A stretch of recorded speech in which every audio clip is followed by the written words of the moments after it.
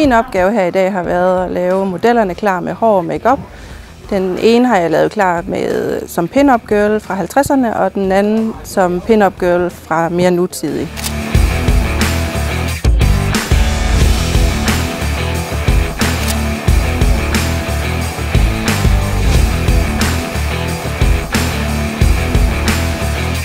Det, der foregår her i dag, det er, at vi igen i år er nede hos øh, Matrix Film. Vi har været så heldige at få lov at komme her. Jeg har to modeller, to biler, og en make artist og en tøjdesigner. Vi skal tage en masse fede billeder, vi skal have det sjovt.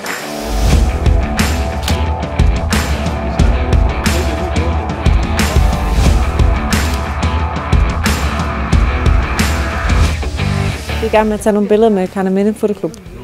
Øh, og den måde, vi er kommet til som modeller, det er fordi, at vores øh, designer, hun øh, har fået os med, fordi hun synes, det kunne være sjovt at tage nogle billeder med en, nogle spillinger.